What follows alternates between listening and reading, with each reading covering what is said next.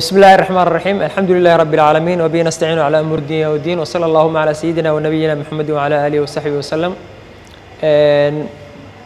isku soo laabasho wanaagsan ardayay maantayto waxaan gelaynaa maadadeena xisaabta ee dugsiga dhexe ee fasalka sideedaad cutubkeena afaraad casharkiisa labaad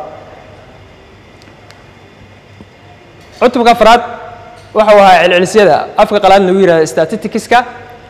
Hordhiciisi waa soo aragnay sidoo kale cashka hadda cashir koowaad waxaa ka mid ahaa wixii aan ku soo aragnay oo aan soo wada qaadanay.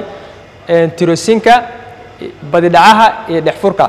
Marka haddii aan halkaas wax yaraa ku laabto oo aan isla iftiimino maadaama hore u soo aragnay tirosinka waxaa waxaan ku soo sheegnay in marka tirooyinka la isku daro oo kadibna loo qaybiyo intay yihiin waxa ku soo baxa ayaa waxa la yidhaha tirosin ama celceliska qayb ka mida wey sidoo kale waxaan soo baranay badidhacaha inuu yahay lambarka ugu soo noqnoqoshada badan ee ka dhex muuqda tirada.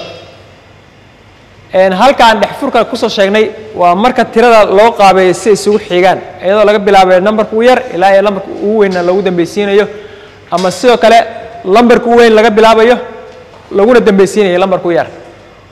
Oo daad macnaheedu uu yahay in tirada la hagaajiyo. Kabacdi marka tirada la hagaajiyo ayaa markaas waxaa kuusoo baxaysa laba hab in uu hal lambar dhexda ku galo ama amay ama inay laba tiro ay dhexda ku galaan. Haddii uu hal lambar dhexda ku galo tiradaas ayaa waxay ku noqonaysa waxa la yihahdo dhexfur laakiin haddii laba tiro dhexda ku galaan labadaas tiro ayaa la isku darayaa kabacdina waxaa loo qaybinayaa labo. Markaas ayaa waxaa helaysaa waxa la yihahdo dhexfur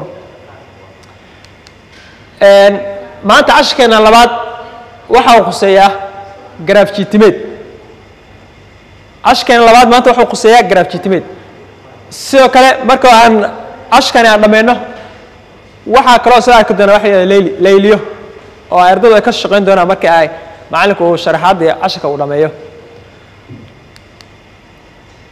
Marka natiijada ka soo baxaysa cashirkani marka uu dhamaado maxay noqonaysaa? Waxay noqonaysaa qodobadan soo socda. Cashirka markuu dhamaado ardaygu wuxuu awood awoodi doonaa kow inay sawiraan ardaydu garaafjitimeed inuu ardaygu garaafjitimeed uu sawiri karo. Inay xogta u bedeli karaan garaafjitimeed ardaygii xog marka la siiyey waa inuu u bedeli kara wax la yihahdo garaafjitimeed inay xogta garaafjitimeedka ay akhriyi karaan. Garaafjitimeedka xogta ku taalla inuu ardaygu akhrin karo. Oo haddii su'aal laga weydiiyo uu fahmi karo.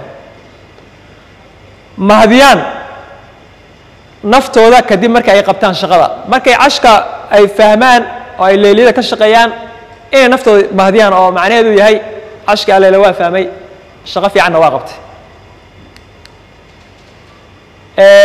Xaggani waxaa nooga muuqda garaafjitimeed tusaale nin ayaa nin ayaa lahaa dhammaan meesyada xoolaha xog xog laga diiwaangeliyey ayaa ahayd sida tan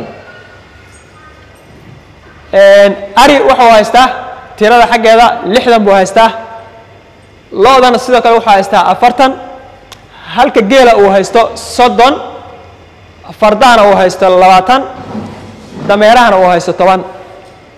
Marka fardaha iyo dameeraha macalinka af soomaaliya noo sheegay waxaa la isku yihahdaa gamaan.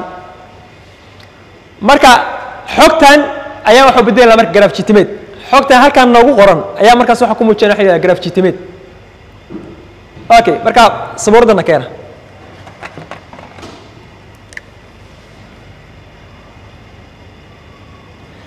garaafjitimeedku wuxuu noqonayaa laba layn oo isku qotama oo joog iyo jief ah.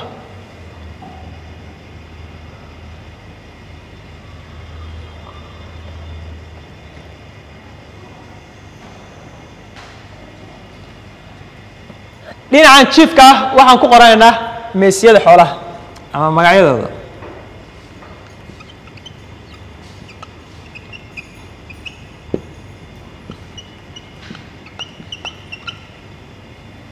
dhinacana waxaan ku qoranaynaa tirada.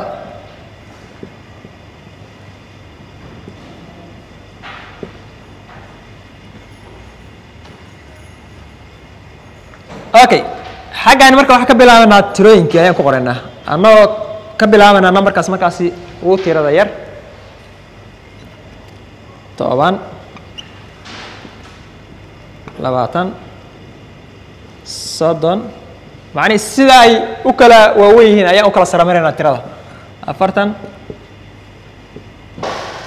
Konton. Lixdan. Laakiin misyada xoolaha ama noocyada xoolaha iyadu khasab maaha inaan sida kuwan aan u hagaajino kale u hagaajino iyagu waa magac hadba kaarta ayaa soo soo qoranaysaa okay laakiin hadda aan u qorno sida halkan noogu qoran. Ari. Lo. Geel. Fardo. Meero markii aan intaas aan qaabaysano ayaa markaas waxaan sameynaynaa mesi walba iyo waxaan isku aadeenaa iyo inta tirada uu ka yahay. Okay hadda ariga noogu horreeya. Ariga markaasi numberka ama tirada uu haysto ayaa waxaan ku aadinaynaa booska uu leeyahay. Tusaale shaxda halkan nooga muuqata ama shaxda halkan nooga muuqata ariga waxaan la siiyey waxa la yihahda lixdan. Marka waxaan geenaynaa tirada ariga lixdan meesha ku taalla lixdan. Sixty ayada ugu tiro badan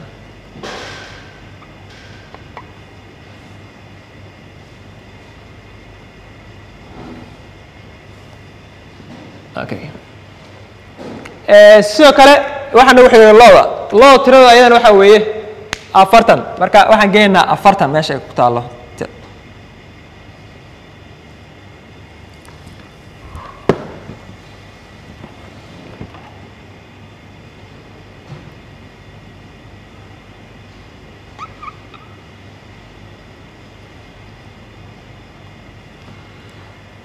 geelaasna sidoo kale waxaan ka haysanaa waxa la yihahda soddon marka kabacdi waxaan geenaynaa soddon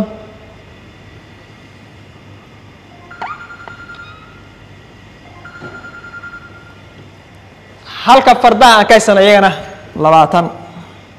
Aa ku aadinaysaa mid kasta meesha uga ku aadan yahay.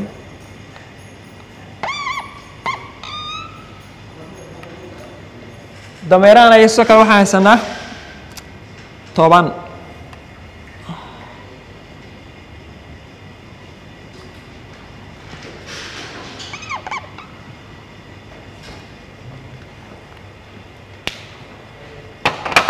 marka xogteennii markii aan grafji grafjitimeedka aan ku muujinay waxay noo noqotay sida tan oo hadda waxay noqotay xog dhammaystiran oo markaasi qof walboo loo geeyo ama akhriya uu wax badan uu ka fahmi karo.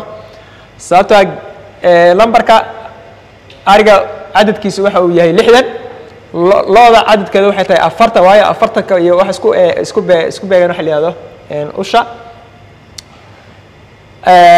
sidoo kale geela isna sidoo kale wuxuu ku beegan yahay soddon fardaana wuxuu ku beegan yahay labaatan. Halka uu ku beegan yahay waxa la yihahdo wax yaraan halkaan hoos u dhigno toban. Marka sidaas ayaa waxaa loogu muujinayaa xogta garafjitimeedka tusaalaha labaad shan arday ayaa lagu muujiyey waxaa la yihi garafjitimeed haddaba ka jawaab weydiimaha soo socda waa kan hadda aan sawirnay ayaa haddana mar kale su'aalan ka weydiiyey. Kii hore xog buu ahaa xogta ayaan wax ku muujinay grafjitimeed sidaa noo noqotay. Isagii oo kale ayaana loo sawiray. Kabacdina waxaan ka weydiiyey su'aalo. Okay marka waa shan arday waa cali xasan iyo fahma iyo cumar iyo idris. Waa hal maadi dhibcaha ay kala keeneen. Marka su'aalahana sidaan ayay noqon doonaan. Waa kuma ardayga keenay lixdan waa kuma ardayga ugu sarreeya ardada dhinaca dhibcaha. Su'aasha saddexaad waa maxay farqiga u dhexeeya cumar iyo idriis su'aasha afraad waa kuma ardayga ugu hooseeya ardayda. Macnihii grafjitimeedka ayaan ku laabananaa kabacdina halkaas ayaan ka soo warbixinaynaa. Okay su'aalahaan qoranayna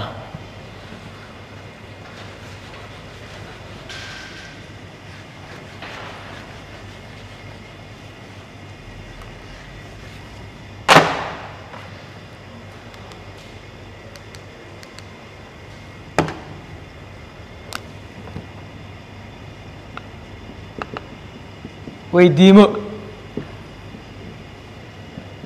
Number one ko waa kuba ardayga keenay lixdan?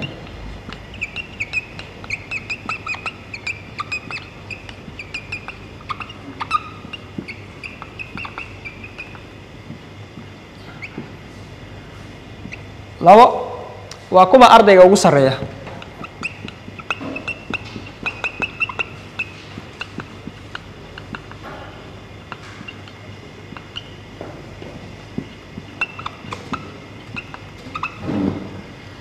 Saddex.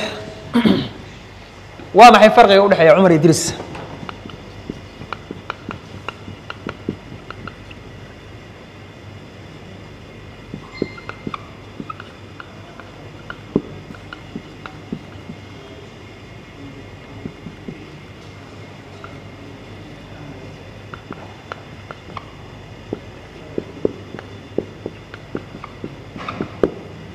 su'aasha ugu dambeysa waa kuma ardayga ugu hooseeya?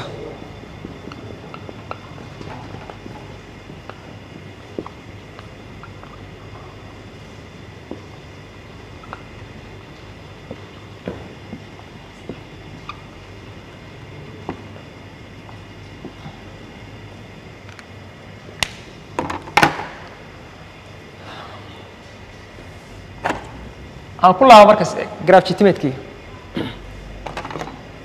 haye. Waxaa la yidhi waa kuma ardayga keenay lixdan. Ardayga lixdan keenay kuma ayuunu noqonayaa. Waxaan eegaynaa rectangular bariska ama rectangulada taagga ah. Kabacdina qofka lixdan noo keenay waxa uu noo noqonayaa ardayga la yidhaahdo xasan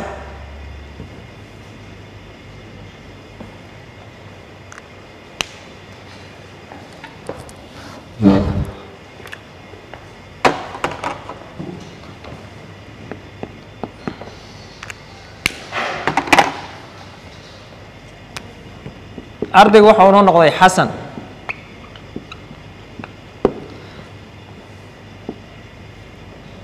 Su'aasha labaad waa kuma ardayga kee waa kuma ardayga ugu sarreeya ardayda.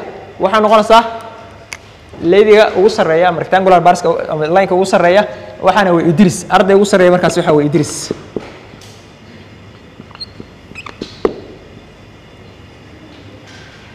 Su'aasha saddexaad waa maxay farqiga u dhexeeya cumar iyo idris cumar iyo idris farqiga u dhexeeya waa maxay? Farqigu wuxuu noqonayaa in la kala jaro dhibcaha u dhexeeya kabacdi ayaa wax soo baxaya farqi. Marka cumar waxa uu keenay waxaa la yidhaahdo afartan. Idrisna waa arday ugu sarreeya waxa uu keenay waxaa la yidhaahdo boqol. Marka waan kala jaraynaa boqol laga jaray afartan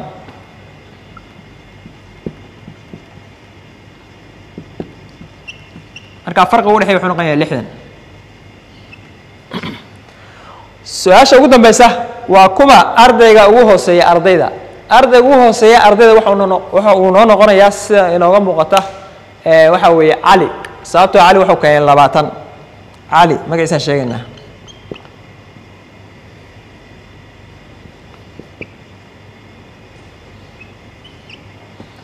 Sidaas ayaa waxaan ugu dhamaaday markaasi su'aalahaas okay waxaa nagu xiga leyliyadii marka. Ugu dambeeyey cashka oo ardaydu ay ka soo shaqayn doonaan markay cashka fahmaan ay dhegeystaan macallinka. Leyliska waxay noqotay u bedel xogtan grafjitimeed waa musharaxiin iyo cododka ay kala heleen. Aadan wuxuu helay aadan wuxuu helay toban cod guuled wuxuu helay soddon cod fartuun waxay heshay labaatan cod xasan wuxuu helay afartan cod.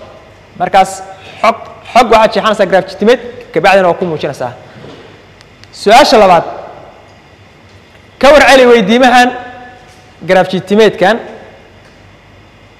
su'aala lagaa weydiin doonaa kabacdina su'aalahaasay ka jawaabaysaa number ko waa kee fasalka ugu badan waa macnihii ayaa su'aalihiisa ayaad grafjitimeedkan ayaa si fiican u eegeysaa kabacdina su'aalaha lagaa weydiiyay ayaa ka jawaabaysaa number one waa kee fasalka ugu arda ugu ardayar dugsiga number labo waa kee fasalka ay ardaydiisu tahay? Boqol. Saddex waa maxay farqiga u dhexeeya fasalka siddeedaad iyo fasalka lixaad? Lamber afar waa kee fasalka ugu arda badan dugsiga? Lamber shan waa maxay tirada guud ee fasalka toddobaad? Halkaas ayaynu ugu dhamaada cashkii. Assalaamu calaykum waraxmat ullahi tacaala wabarakaatu